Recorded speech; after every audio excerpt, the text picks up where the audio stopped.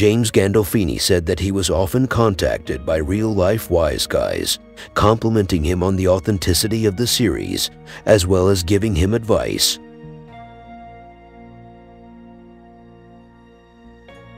It is said that during some scenes James Gandolfini inserted a small stone in his shoe to anger him, making him play the role of Tony Soprano more authentically. He would also stay awake all night for some of the breakfast scenes to achieve a tired look.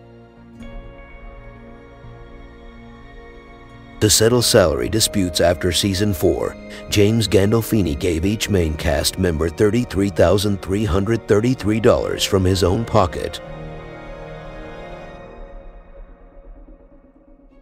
Lorraine Bracco was originally asked to play the role of Carmela Soprano, but she felt that the part was too similar to her character in Goodfellas.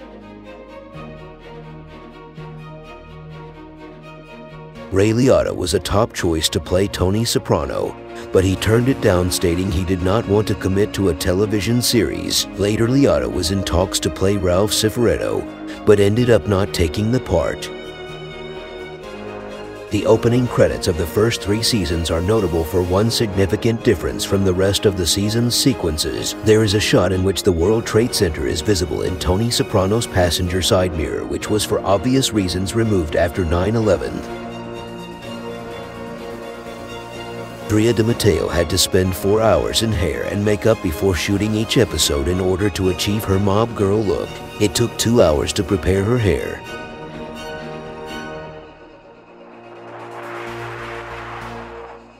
David Chase had to CGI Nancy Marchand's face onto a body double after she died at the start of season 3.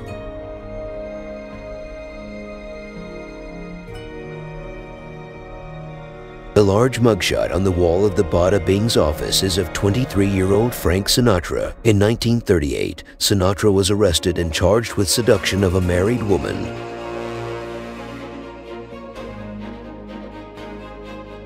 In the second season, the F word is said 715 times.